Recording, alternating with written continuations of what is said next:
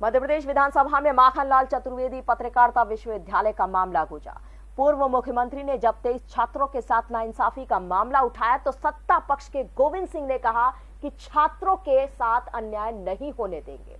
दूसरी ओर भोपाल के पत्रकारों समाज सेवियों और विश्वविद्यालय के पूर्व छात्रों ने प्रबंधन से दो टूक कहा कि इन छात्रों से नाइंसाफी बंद की जाए और परीक्षा में बैठने दिया जाए। दो प्रोफेसरों की जातिगत टिप्पणी का मामला तूल पकड़ता जा रहा है।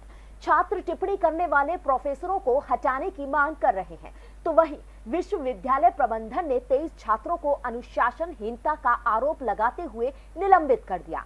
अब निलंबित छात्रों के समर्थन में तेईस छात्र पर दर्ज जो एफआईआर का मामला है, उसे पूर्व मुख्यमंत्री शिवराज सिंह चौहान ने विधानसभा में उठाया है और कहा कि विश्वविद्यालय में छात्रों के साथ अन्यायपूर्ण व्यवहार किया जा रहा है। वहीं छात्रों ने शांतिपूर्वक विरोध प्रदर्शन किया था, लेकिन पुलिस द्वारा छात्रों को बर्बरता पूर्वक पीटा गया। बच्चे घायल हुए, लेकिन उनको अस्पताल नहीं ले जाया गया।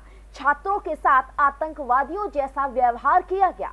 शिवराज सिंह चौहान ने कहा कि जायज़ मांग उठाने पर छात्रों पर एफआईआर दर्ज कर दी गई।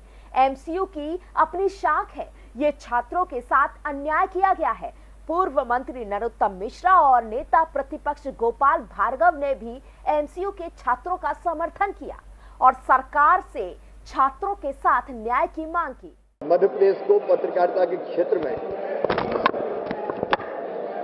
एक गौरव के रूप में देखा जाता है।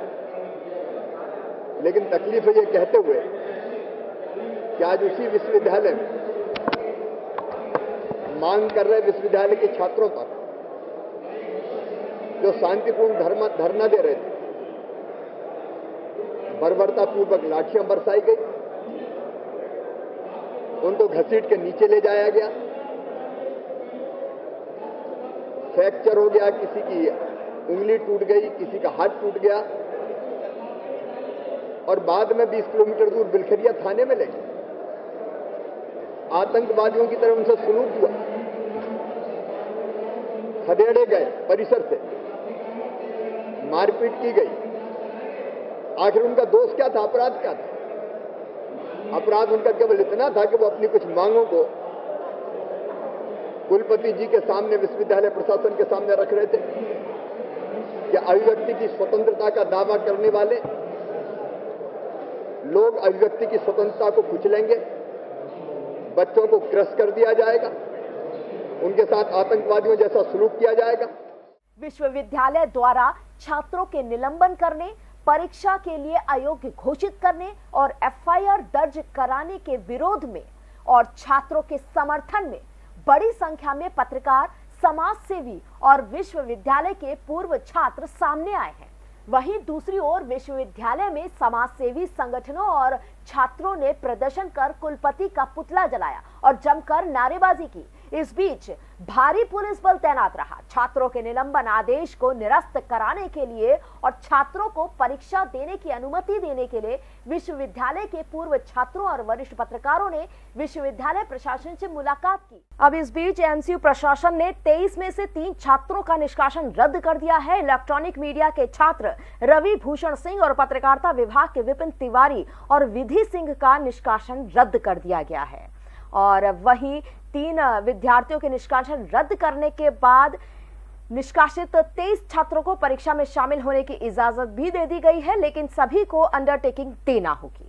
पिछले पंद्रह दिनों से पंडित माखनलाल चतुर्वेदी पत्रकारिता विश्वविद्यालय, जो कि पत्रकारिता का जे है, वहाँ पर सामाजिक विद्वेष फैलाने की बहुत कोशिशें की जा रही है। कोई षड्यंत्र है, साजिश है, इसका हमें जानकारी नहीं है। लेकिन उसका शिकार तेईस बच्चे हुए हैं जो बहुत भोले वाले हैं, जो राजनीति नहीं समझते। वो सिर्फ़ पत्रकारिता की पढ़ाई करने यहाँ पर आए हैं। हमारा प्रबंधन से अनुरोध है कि उनका निष्कासन वापस लिया जाए और उन पर जो एफआईआर की गई हैं, वो वापस ली जाएँ।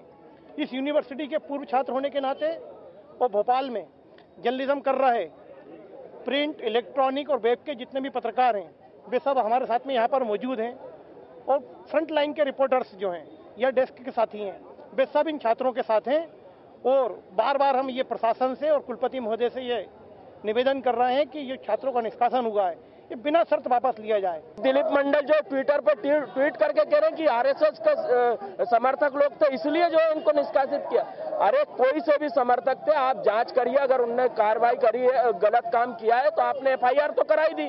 उनके खिलाफ दंडात्मक कार्रवाई होगी, लेकिन उनका भविष्य बर्बाद करने का प्रयास करेंगे तो इसे कतई बर्दाश्त नहीं किया जाएगा। टिप्पणी को लेकर माथालाल चतुर्वेदी विश्वविद्यालय में छात्र प्रदर्शन कर रहे हैं। हमारे साथ कुछ छात्र जुड़े हुए हमारी ये मुझसे बात करते किस जीप चीज़ को लेकर प्रदर्शन है। किस बात को लेकर जिस प्रकार से यहाँ जो विश्वविद्यालय द्वारा तेईस छात्रों को निष्कासित और दस छात्रों के ऊपर एफ़ की गई है। बिना किसी कारण वो आंदोलन कर रहे थे, प्रदर्शन कर रहे थे। क्या अपनी आवाज़ नहीं उठा सकते जब वो विद्यार्थी किसी एक प्राध्यापक द्वारा जाति सचुक शब्द से वो कहने का अपमानित कर रहे थे निष्कासित करने के लिए वो विद्यार्थी आंदोलन किया, जिनके ऊपर कार्रवाई होनी चाहिए थे, उनके ऊपर कार्रवाई ना करते हुए कार्रवाई की गई।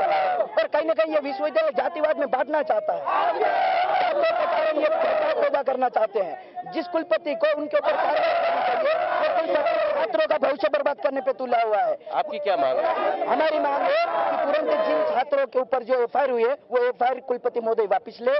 जिन छात्रों को तेईस छात्रों को निष्कासित किया है उन छात्रों का निष्कासन बहाल करे और जो अपराधी है जो दोषी है प्राध्यापक दिलीप मंडल मुकेश कुमार उनको अभी तुरंत ही एक घंटे के अंदर उन, उन्हें हटाया जाए। और खुद कुलपति से भी हम मांग करते वो भी इस्तीफा दे। तो इनका साफ़ कहना है कि कुलपति जी इस्तीफा दे और ना हो हम आपको बता दें कि विधानसभा में भी एक सवाल पूछा गया था। पूर्व मुख्यमंत्री शिवराज सिंह चौहान ने विधानसभा में सवाल उठाया था कि जो माखनलाल चतुर्वेदी विश्वविद्यालय है, वहाँ पर जातिगत टिप्पणी को लेकर जो हंगामा हुआ, उसके बाद छात्रों को घसीट कर पुलिस ने बाहर निकाला था और मारपीट की गई थी। छात्रों के ऊपर एफआईआर दर्ज किया गया था, जिसको लेकर निष्कासन की मांग की गई। वही सरकार से शिवराज सिंह चौहान और नरोत्तम मिश्रा ने कहा है कि सरकार इस पर सख्त एक्शन उठाए और जो छात्रों के ऊपर एफआईआर दर्ज की गई, उसको वापस ली जाए। अब देखना यह होगा कि कमलनाथ सरकार इस विषय में क्या करती है? क्या कुलपति इस्तीफा देंगे या कुलपति इस्तीफा नहीं देंगे? या वो अपने वक्तव्य को वापस लेंगे? क्या छात्रों को क्या छात्रों को न्याय मिल पाएगा? Cameraman Tarun Yadav Satyam Sharma Dakhal news Bhopal. संगीत की स्वर लहरियों से सांस्कृतिक ताने बाने तक चंबल के पीड़ों से नक्सलवादियों के गढ़ तक झोपड़ी से महलों तक ठेलों से मेलों तक पगडंडियों से सड़कों तक। गाँव से शहरों तक। व्यापार से उद्योगों तक। राजनीति से कूटनीति तक। दखल न्यूज़। आपके हक।